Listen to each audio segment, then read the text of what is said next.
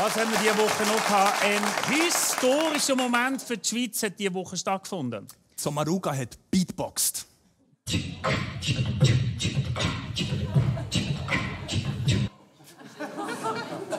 So, das klingt nach einer normalen Politikerrede, muss ich ganz ehrlich sagen.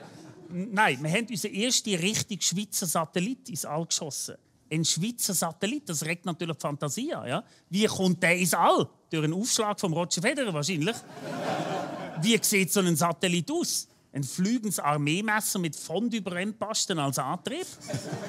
Nein, natürlich so. Viel aufregender. Ja? Ganz klassisch im trendigen Satellitenlok mit Solarzellen und zünftig Alufolie rundherum. Also einfach ein fliegender Grillherdöpfel. Ja? Ist ja auch egal. Ist auch egal. Das sieht ja auch niemand dort im Weltall. Er heißt Cheops und soll im All nach neuen Planeten suchen. Und dafür hat er auch ein spezielles entwickeltes Teleskop an Bord.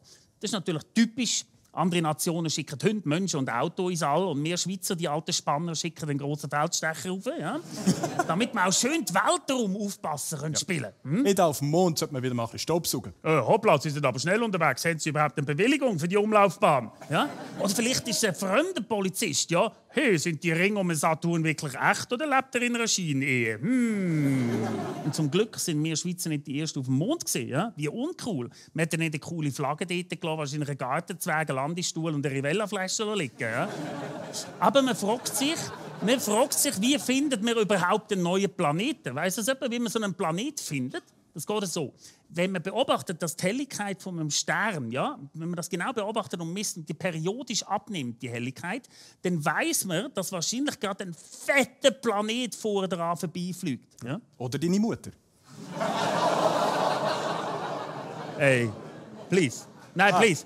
Also, immerhin, also immerhin, meine Mutter hat immerhin nicht zwölf Monate wie deine Mutter. Ja, das muss man also auch sagen.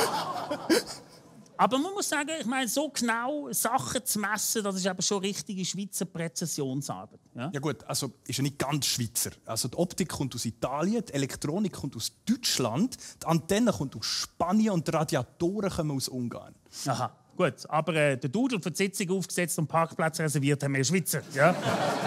Und natürlich ein Großteil zahlt haben wir auch. 30 Millionen hat die Schweiz in das Projekt investiert. Denkt man, wow, wie viel, aber für das Preisli kommt man nicht einmal neue Reifen für Kampfjets über, geht ja noch. Und man kann wirklich sagen, dass das Geld gut investiert ist. Schließlich, was könnte man damit für Planeten entdecken? Ja? Zum Beispiel der Heimatplanet vom Baby Yoda könnte man eventuell finden. Ah. Und das Beste, wenn man so einen neuen Planet findet, dann dürfen wir ihn ja auch benennen. Und da haben wir auch etwas Schönes lesen letzte Woche nach einer Ausschreibung hat eine Schulklasse dem Planeten HD 130322b einen neuen Namen geben. Und sie haben sich mega Gedanken gemacht, einen super Namen herausgefunden. Der Planet heißt jetzt Eiger. Denkt man, na ja. Aber die haben sich etwas überlegt, weil der Stern, um den sich der Planet umdreht, der heißt Mönch. Und die beiden befinden sich im Sternbild Jungfrau. Wow! Also ich meine, hey, mega viel überlegt für eine Schulklasse. Mega viel. Was? Ja? Wahrscheinlich war es der Lehrer, der sich viel überlegt Ja, wahrscheinlich so. Wenn es wirklich Kinder benannt hätte, dann würde wahrscheinlich Alter Bro oder Loredana heißen, denken Sie mal.